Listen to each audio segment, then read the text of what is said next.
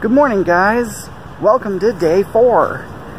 Just on my way out to get some breakfast because I have to get some footage from last night off before I completely render it because I didn't really have time because the files were kind of big. So I'm off to Dunkin'.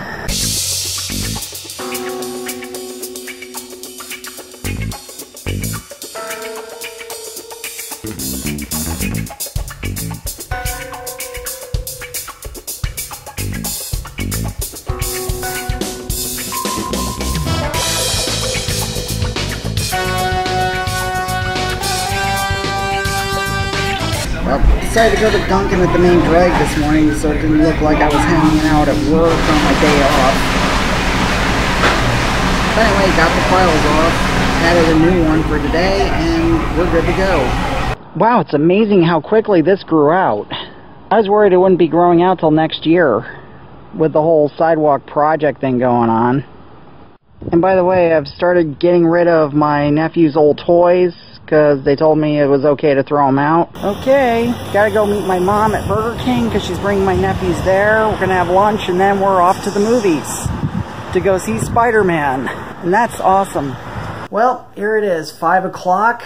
Been home for about an hour or so. I actually enjoyed Spider-Man Homecoming. And you know what? I do a review here, but I would probably save it for a podcast where I can talk about it in length. But the long and short of it is Spider-Man Homecoming is probably the best Spider-Man movie I've ever seen. It's probably on the same par as Spider-Man 2.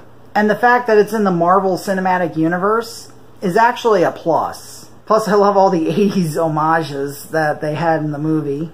Plenty of John Hughes things, although the Breakfast Club homage, I think the new Power Rangers movie did it better. But other than that, all the other homages to John Hughes movies like Ferris Bueller and 16 Candles, they were all done pretty well. And I think they did a great job casting Tom Holland as Spider-Man. I loved him in Civil War and he's really good here.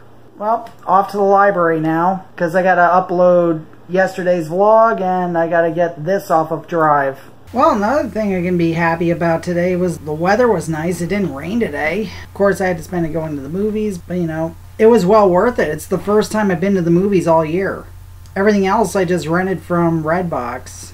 And oh yeah, another little update. Remember earlier in the year I was actually considering going back to my reunion and I tried to send the person that runs the group page my address and my email for an invite and I didn't get a reply back. Well, I finally found out what happened. Apparently, it ended up in her other messages folder and she forgot about it. I know it's an honest mistake, stuff happens. But actually, it looks like it may very well turn out for the best since I really don't have any way down there, kind of short on cash and all that stuff. But I'm not really losing too much sleep over it. Kind of late now to make plans, but oh well, there's always some other time.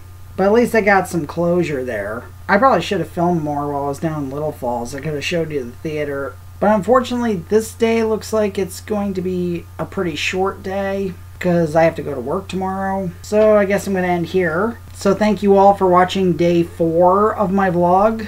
And who knows what day five will bring and those after that. It gets better. There's going to be some slow days like this, but you know, it gets better. I mean, it's only the first week I've been doing this. So anyway, see you all soon. And I'll probably be doing a podcast review of Spider-Man Homecoming, and I'll be putting that on the main channel, youtube.com slash blackcatloner. So stay tuned for that, probably later in the week. See you tomorrow.